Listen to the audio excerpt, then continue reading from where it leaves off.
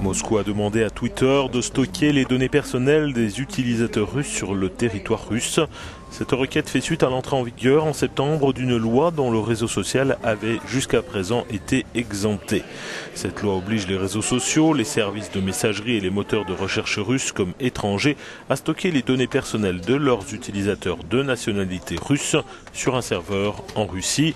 Dans le cas contraire, les autorités pourront bloquer l'accès à ces sites et services.